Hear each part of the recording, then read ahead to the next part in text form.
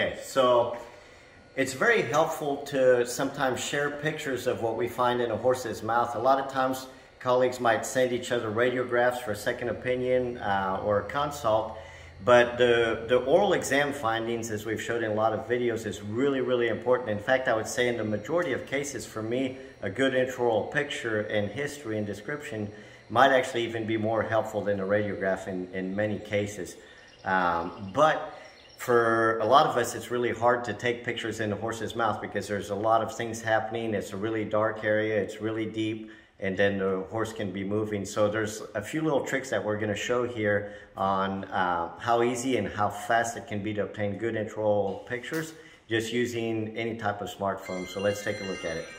So the first thing you need is you have to have a really bright light that has a diffuse beam. Some lights have a focus beam and that makes it really hard to get a good generalized picture.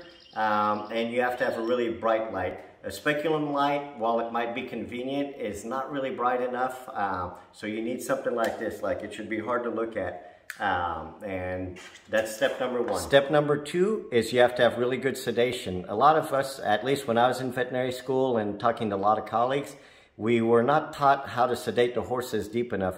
The sedatives we use today are typically very safe on healthy horses especially. And so we can typically use a little bit higher doses. It, you have to communicate to the owner the importance of having a well sedated horses. Nobody really truly likes to see their horse sedated. It's not enjoyable for any, any horse person.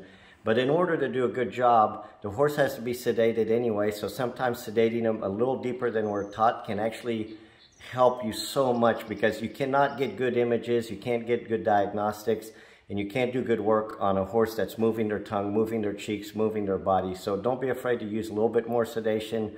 They're very safe um, and you'll get better results. Okay, so the first thing you do is forget about the fact that you're taking a picture for a second. What you want to do is find the teeth that you want. So here we're taking the number two quadrant and light it up so that every tooth is nice and bright. And then hold very still, don't move your head, and then just bring the camera up and boom, you can take a picture. So before you actually do the picture, zoom a little bit, maybe to like about two seems to be a good level 2.2, 2.3. So you pre-zoom. Now I'm going to do exactly what I did earlier. I'm going to forget about the fact that I have a camera. I'm going to find the teeth. I'm going to hold my head very still. Everything is lit up. And now I can gradually bring my phone up and focus and picture. And make sure that you focus like I'm doing with my thumb and boom, picture.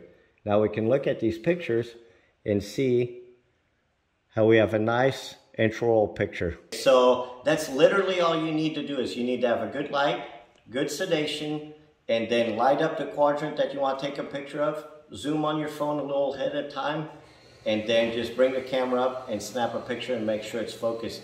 And for me, I actually put these in the dental charts and over the years, I've learned more from my pictures, looking at how the teeth looked over time and, and how the dentistry progressed.